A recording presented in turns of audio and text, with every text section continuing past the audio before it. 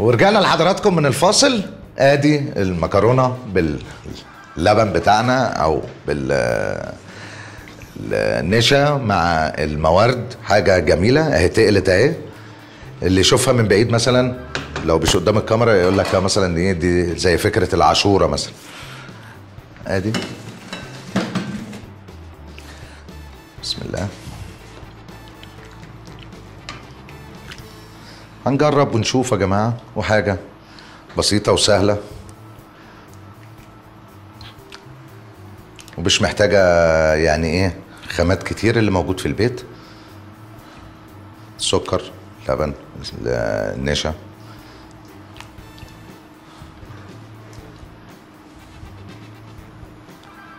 بسيبها دي كده خالص. أهو. شيل دي.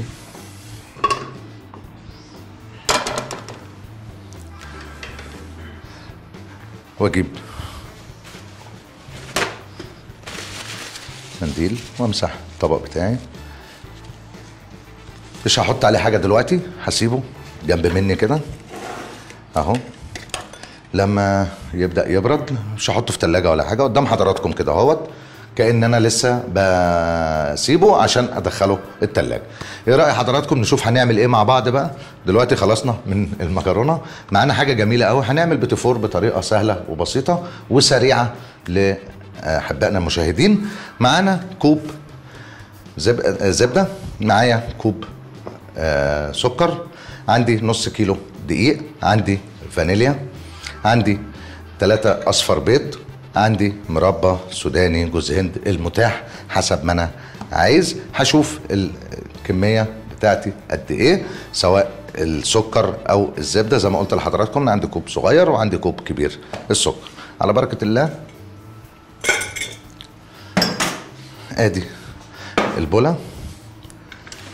بجيب الزبدة. طرية. درجة حرارة الغرفة. مفيش أي حاجة. وبجيب السكر كده أهو. واخدهم مع بعض كده بالشوكة. طبعا المضرب موجود. أنا بحاول أسهل لحضراتكم الأمور مش محتاجة مضرب أو حاجة. أهي. المهم النتيجة في الآخر هيطلع بتفور يتاكل ولا مش هيطلع بتفور يتاكل. إن شاء الله يطلع يحوز الإعجاب. ادي الزبده مع السكر كويس قوي بالطريقة دي كده. كده اهو. حاجة سهلة وعلى قد طبق صغير مش كتير. الوقت اللي هياخده بس يا دوبك إيه؟ التسوية. كده.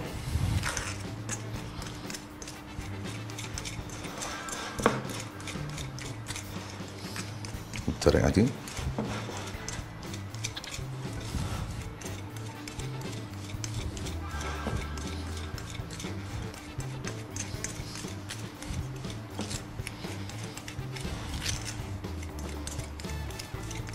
شايفين اهي اتلمت الزبدة مع السكر.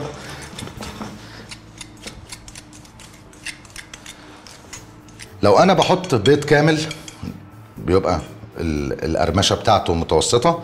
الأبيض بيض بيخليه يعيش معايا فترة ويبقى في سنة كريسبي. أنا هستعمل أصفر بيض ما عنديش أي مشاكل لأن أنا مش عامل كمية كتير ومش هتقعد كتير. إن شاء الله هيبقى طعمه حلو وهيتاكل بسرعة. هاخد حوالي اتنين أصفر بيض زي كده. واخدهم مع الزبده والسكر. شايفين؟ ادي الفانيليا. مع.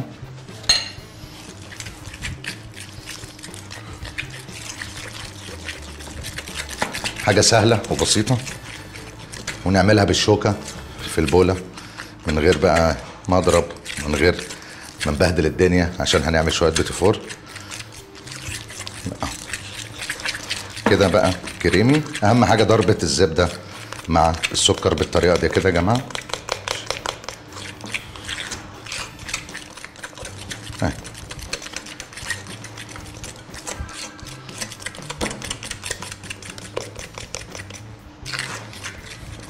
ببدأ أنزل بالدقيق بتاعي.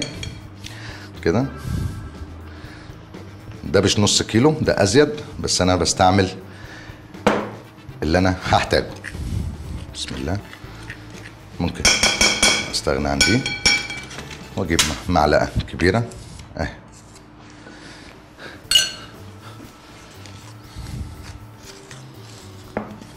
نفس الطريقة كده. اهي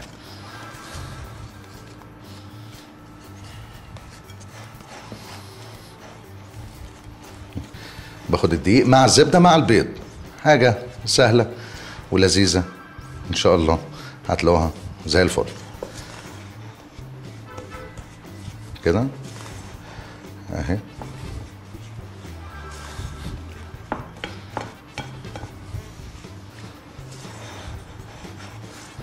بالطريقة دي.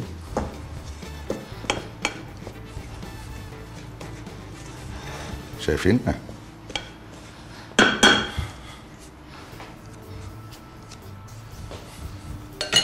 كده. الدقيق خلاص.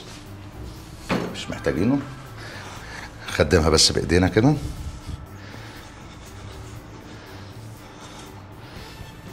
اديها بقية البيض اللي أنا محتاجه.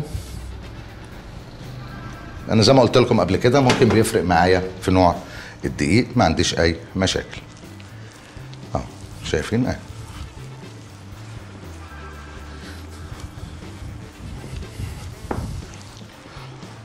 طريه اهي.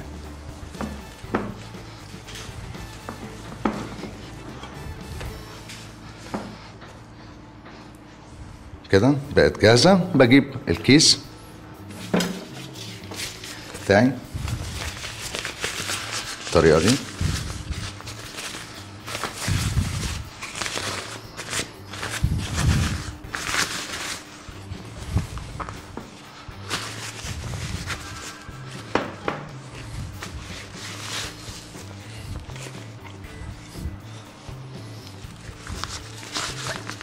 ادي كمية البتفور كلها. باخد دي كده. واجيبها بالطريقة دي. لو عندي صاج صغير أو كبير حسب الكمية اللي أنا هستعملها. آه، بإيديا كده. ممكن أمسح إيديا برضو عشان إيه؟ أبقى واقف إيديا كويسة قدامها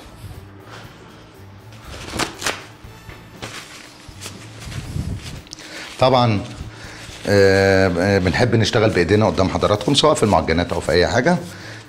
آه، كده بنبقى إيه تحسوا إن الحاجة متبسطة وفي نفس الوقت طريقتها سهلة وبتغني عن مضرب أو عجان بسم الله كده. أدي نوع. حسب الشكل اللي أنا عايزه. الطريقة دي كده.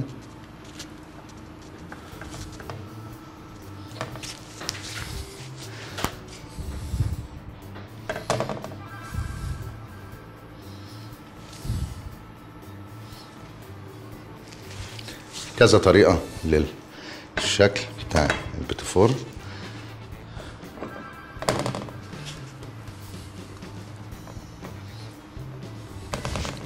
في كذا حجم في أحجام بتبقى كبيرة في أحجام صغيرة حسب ما إحنا عايزين.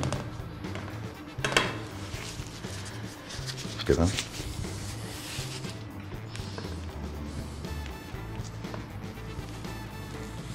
برضو.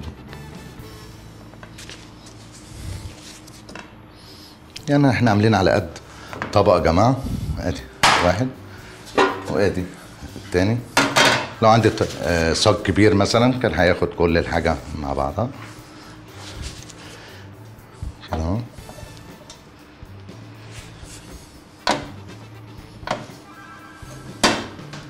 ولو عايز أحط حاجة عليه قبل ما يخش النار لو عايز أحط عليه مثلا مربى أو حاجة مفيش أي مشكلة بالنسبة لي. كده أهو برضو لو أنا عايز دي.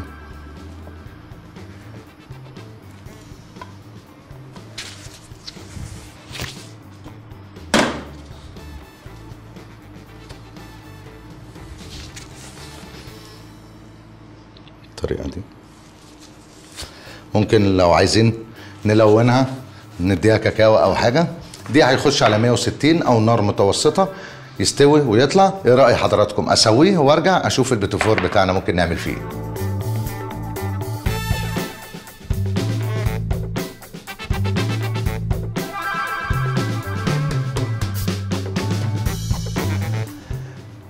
آدي البتفور بتاعنا خلص سويناه في الفرن. آدي معانا مربى فراولة موجودة في البيت أو أي نوع سواء مشمش أو تين أو حاجة حسب الرغبة. معايا سوداني معايا جوز هند عملت الشكل ده اللي أنا كنت عامله قدامكم يا جماعة بالطريقة دي. وآدي البتفورايه بتاعتنا طريقتها. آدي المكرونة مسكت. نبدأ نعمل كده أهو.